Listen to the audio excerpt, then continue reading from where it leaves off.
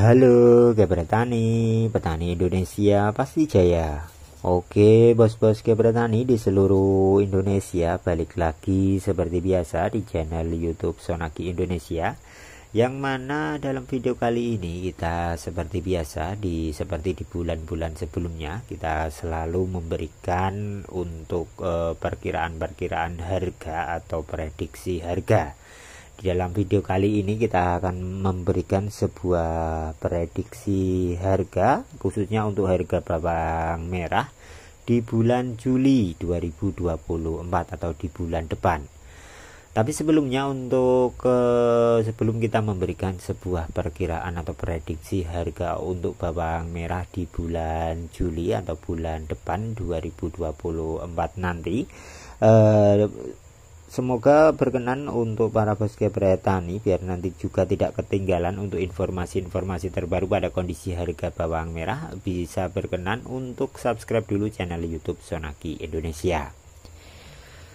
Jadi eh, sebelum kita memberikan sebuah perkiraan harga atau prediksi harga, kita juga selalu mengulas untuk kondisi pergerakan harga di bulan ini atau bulan Juni 2024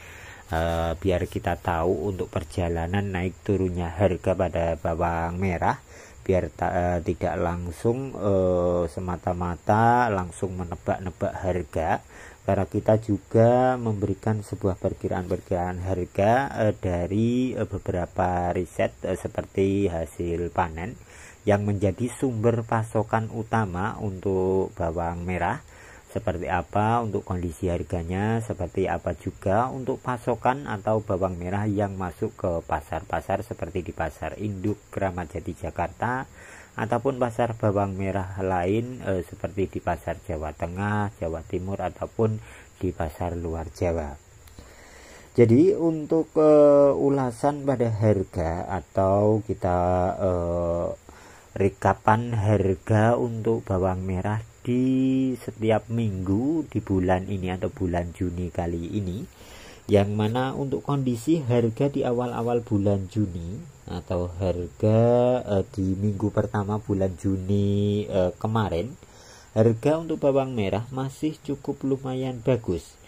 Karena untuk harga bawang merah bisa atau masih menyentuh di angka sekitaran uh, 20 hingga 30-an ribu rupiah per kilogram khususnya untuk harga bawang merah yang besar atau yang superan.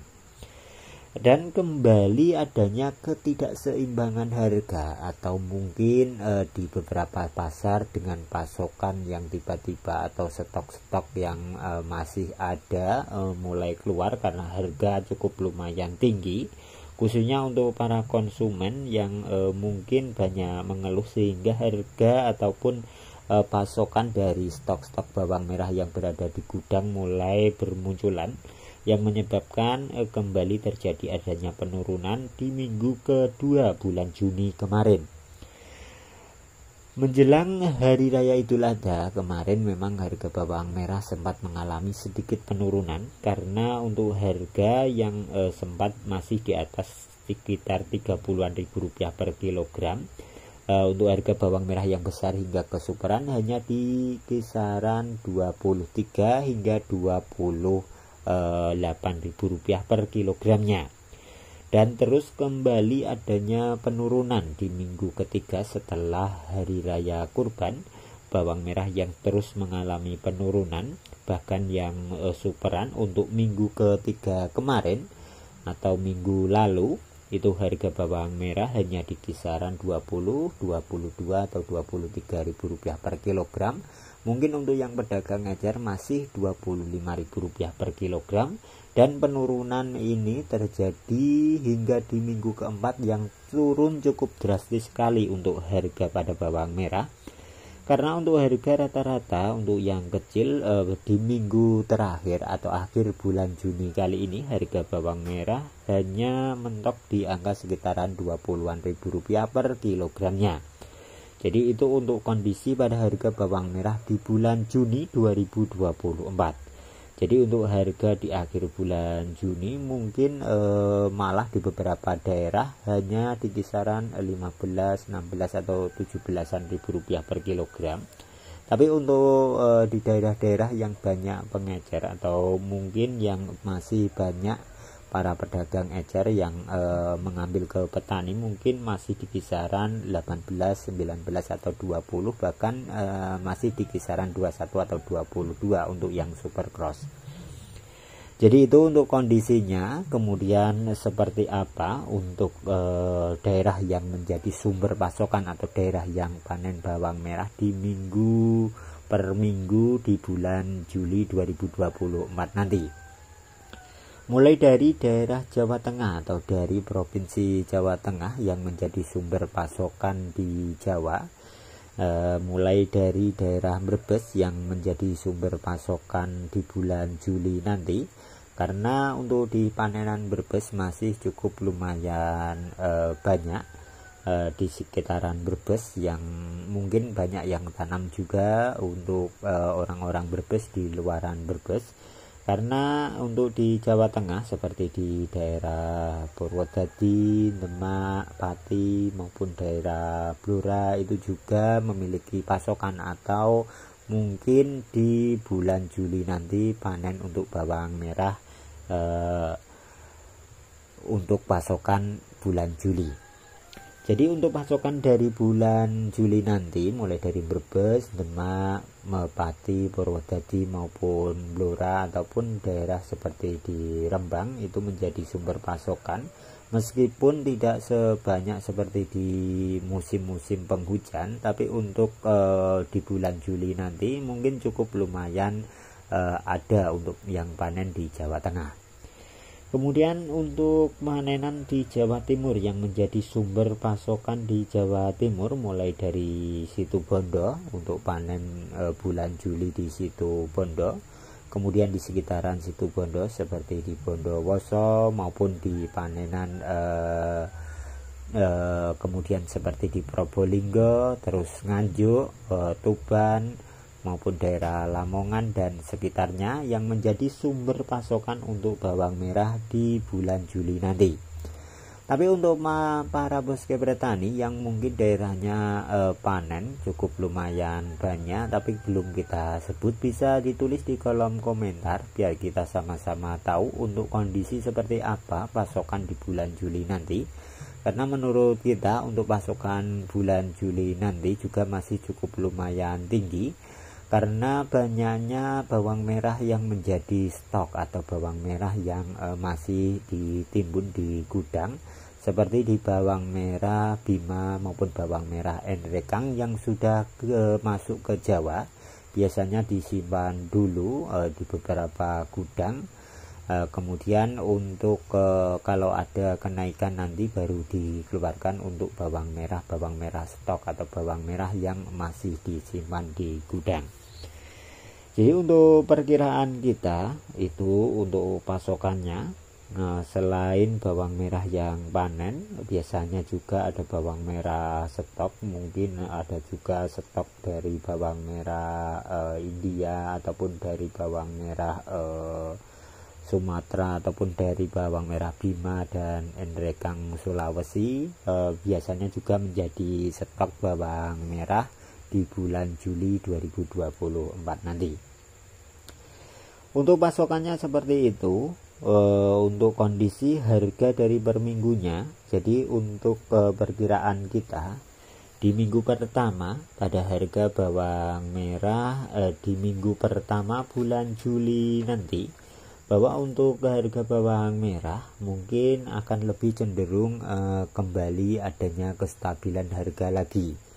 Meskipun pasokan tinggi, tapi mulai adanya pembeli yang eh, cukup lumayan ramai di pasar sehingga bisa menyerap untuk pasokan yang tinggi itu dan menyebabkan kestabilan harga. Jadi untuk harga pada bawang merah mungkin eh, nanti masih bisa di angka 15, eh, 18 atau eh, untuk perkiraan kita semoga saja bisa di 20-an ribu rupiah per kilogramnya itu untuk perkiraan kita di minggu pertama pada bulan Juli 2024 tapi untuk perkiraannya masih cukup lumayan stabil untuk kondisi pergerakan di pasar pada minggu pertama Kemudian untuk uh, di minggu kedua mungkin pasar uh, cukup lumayan membaik. Jadi untuk beberapa pasar mungkin ada kenaikan di minggu kedua nanti. Yang mana bisa menyebabkan untuk beberapa daerah di pertanian bawang merah yang mulai adanya tanda-tanda uh, kenaikan harga untuk di minggu kedua jadi untuk perkiraan kita eh, kondisi pasar yang mulai kondusif, stabil dan menyebabkan kenaikan pada harga bawang merah meskipun tidak begitu banyak tapi mungkin eh, banyak para petani yang merasakan adanya tanda-tanda kenaikan di minggu kedua nanti. Jadi untuk perkiraan kita pada harga bawang merah mungkin bisa eh, kembali lagi di sekitaran 20, 21 atau 22 ribu rupiah per kilogram untuk kondisi yang ukurannya besar dari para petani pada minggu kedua nanti. Jadi ini untuk minggu kedua dari perkiraan kita ada kestabilan pasar, kemudian e, terjadi mungkin di beberapa pasar adanya kenaikan harga karena e, mungkin pasokan yang telat yang menyebabkan e, untuk e, pasokan yang e, semakin berkurang. Kemudian pada minggu ketiga dari pantauan kita menurut e, daerah yang menjadi sumber pasokan mungkin tidak begitu banyak di musim peng, musim kemarau kali ini awal-awal musim kemarau di bulan Juli ini e, mungkin kalau tidak ada bawang merah stok yang kembali bertebaran atau bawang merah yang e, dari gudang kembali bertebaran mungkin e, diperkirakan pada minggu ketiga bulan Juli nanti akan adanya kenaikan harga kembali. Jadi untuk perkiraan kita mulai di minggu ketiga nanti akan adanya kenaikan harga meskipun tidak begitu tinggi untuk kenaikannya tapi untuk kondisi perkiraan harga yang kita pantau di minggu ketiga nanti mungkin bisa di angka sekitar 20 hingga 25 ribu rupiah per kilogramnya. Jadi perkiraan kita untuk kenaikan atau pantauan untuk harga pada kenaikan memang kalau memang ada kenaikan di bulan Juli nanti mungkin eh, tidak begitu eh, tinggi eh, mungkin begitu lambat untuk kenaikannya bertahap mungkin hanya sekitar 1000 atau 2000 rupiah per kilogram bertahap dari minggu ke minggu. Jadi untuk pantauan kita di minggu ketiga nanti akan adanya mulai kenaikan harga pada bawang merah nanti. Jadi kita tunggu saja untuk kondisi harganya tapi untuk menurut pandangan kita itu tadi eh, dalam eh, kurun waktu sekitar seminggu dua minggu hingga minggu ketiga nanti pada bulan Juli akan adanya kenaikan pada harga bawang merah terus pada minggu keempat atau akhir bulan Juli nanti